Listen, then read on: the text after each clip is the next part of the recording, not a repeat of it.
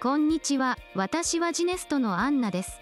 Assisted living についてもっと知りたいですか？私がお手伝いします。 Assisted living とは自立して生活することができない大人のための住居の一種です。 Assisted living はアメリカの州によって若干の違いがあります。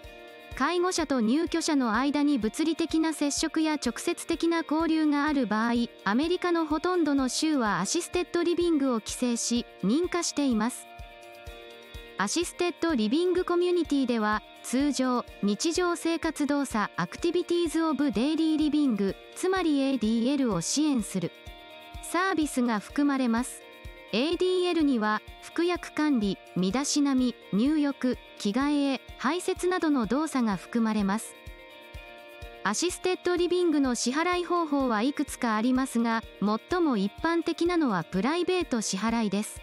長期介護保険やメディケードなどの支払い方法については他のビデオもご覧ください。